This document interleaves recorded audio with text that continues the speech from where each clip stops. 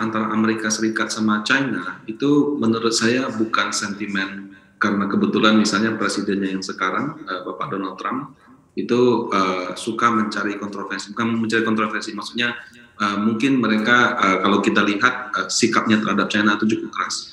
Tapi kalau saya melihat bahwa permasalahan mereka itu karena sekarang sedang memperebutkan posisi ekonomi nomor satu di dunia di mana uh, China merupakan kandidat yang sangat kuat karena pertumbuhan ekonominya sangat bagus. Di satu sisi Amerika Serikat merupakan negara adidaya.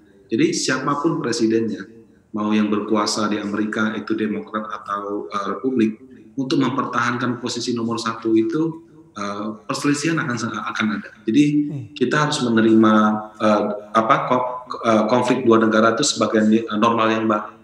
Jadi bukan karena kebetulan saat ini presidennya Donald Trump sehingga uh, apa sikapnya sangat kuat. Tapi uh, memang karena kedua negara ini sedang memperebutkan posisi nomor satu. Jadi problemnya sih memang di situ uh, kalau yang saya lihat.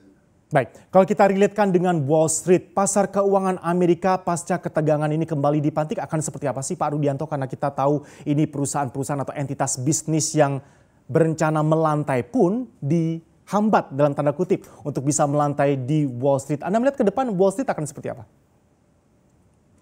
Kalau itu saya lihat ya eh, pemicunya kan sebenarnya kalau dari hal ini ada, tapi lebih kepada eh, ternyata beberapa perusahaan yang sudah melantai ternyata secara akuntansinya eh, mungkin tidak dapat dipertanggungjawabkan.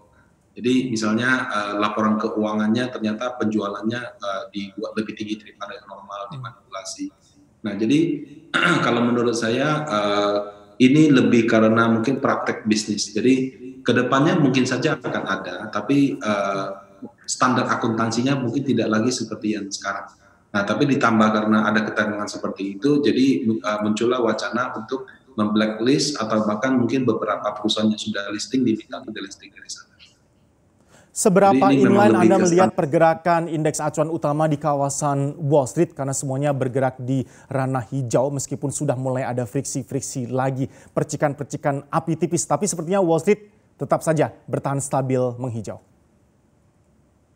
Ya, jadi uh, untuk Wall Street, uh, bursa di Asia, juga bursa di Indonesia, dalam satu dua bulan ini menurut saya uh, topik tentang pandemi corona dan uh, relaksasi daripada PSBB atau lockdownnya itulah yang mungkin menjadi sentimen. Uh, kenapa? Karena uh, walaupun di beberapa negara dia sudah ada penurunan kurva, ada juga yang mungkin masih melandai, tapi uh, sepertinya biaya ekonominya sudah menurut kami terlalu mahal, sehingga relaksasi itu suka tidak suka memang harus dilakukan secara perlahan. Tentunya tidak bisa langsung serta merta juga. Nah, Hal ini uh, sudah bisa ditangkap dari sinyal-sinyal pernyataan daripada pejabat baik dalam maupun negeri, uh, sehingga itu menjadi sentimen positif.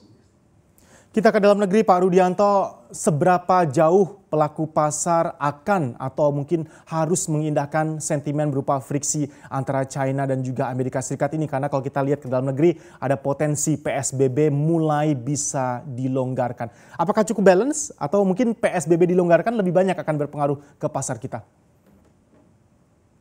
Kalau untuk dalam waktu satu dua minggu ini, uh, relaksasi PSBB kan itu baru baru mulai menjadi topik baru. Uh, menurut saya untuk dalam waktu dekat uh, kelihatannya akan lebih didominasi oleh PSBB. Nah, kalau misalnya nanti indeksnya apakah harga saham atau harga obligasi sudah naik terlalu tinggi, nanti mungkin uh, baru alasan uh, friksi ini dipakai untuk uh, uh, untuk koreksi.